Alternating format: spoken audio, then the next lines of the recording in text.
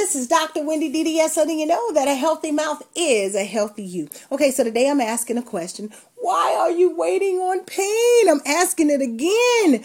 Okay, so this subject is real, so I must ask it. If you know your tooth hurts when you're eating something, whether it's hot or cold or you're chewing something hard, and you know that you're getting food trapped in between your teeth and you have to clean it out every time you eat, why are you waiting on pain? Okay, so this is how it works. First, you have pain to hot and cold, and you have to switch sides of your mouth to chew to be comfortable.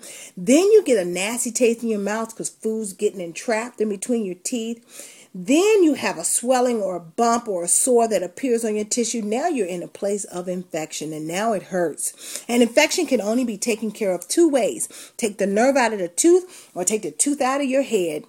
You don't want to do that. Why are you waiting on pain? Listen, you want to take care of a toothache at its lowest point. You want to fix it at its smallest point. You don't want it to get big because now it's going to be more expensive and your options are fewer. I want you to be healthy and I want you to be blessed. Take care of what's going on in your mouth. This is D R W E N D I D D S telling you that. Hit me up on Facebook or Twitter. God bless you. Bye bye.